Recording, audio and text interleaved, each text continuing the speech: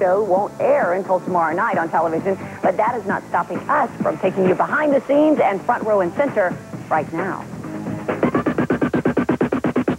From models to movie stars to rock and rollers, they were all here at the VH1 Fashion Awards as long as they were fashionable.